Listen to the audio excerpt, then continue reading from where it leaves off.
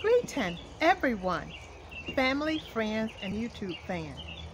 Welcome to Reaping the Blessing Garden Resort and an inspirational moment. I'm Missionary Aguillard, the host and CEO. My passion in life is to walk divinely in the gifts, the calling, and potential that God has given, and to serve and to share and inspire. My mission are you walking in the mission where God has called you? My mission as missionary is to serve in the capacity where God has called me to serve. Serving as the host and CEO at Reaping a Blessing Garden Resort is a wonderful experience. Thank God for the gift, the calling, potential, and thank God for the mission. This is my moment to inspire you so thanks for joining me in my beautiful garden for an inspirational moment. Inspirational scriptures, Proverbs 9 and 10. The fear of the Lord is the beginning of wisdom, and the knowledge of the holy is understanding.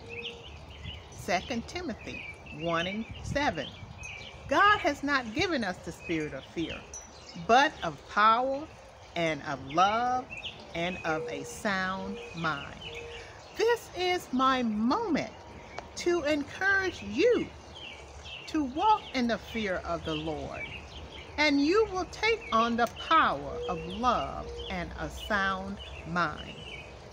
When we walk in the fear of God, we respect God and His divine direction for our lives.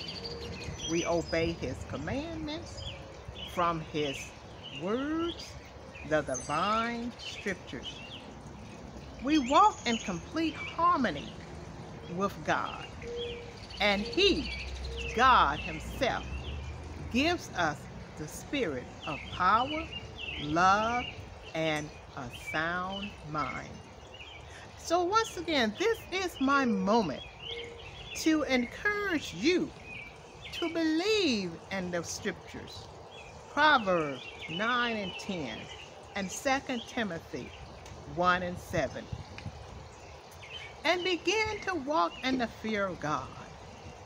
And watch how he gives you the, the ability and the will uh, to be able to live your life free of the fear of losing things, the fear of the unknown, uh, the fear of what's going to happen tomorrow, or any kind of fear that the enemy would try to bring upon you because there are so many things that the enemy tries to plant in people's minds. You know, the fear of the unknown is a big one, you know, that he tries to plant in your mind to keep you from enjoying your everyday life.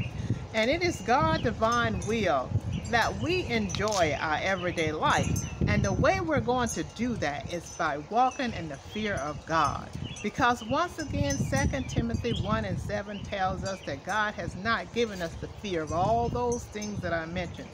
But he has given us the, the spirit he has not given us the spirit of fear, but he has given us the spirit of power, the spirit of love, and of a sound mind.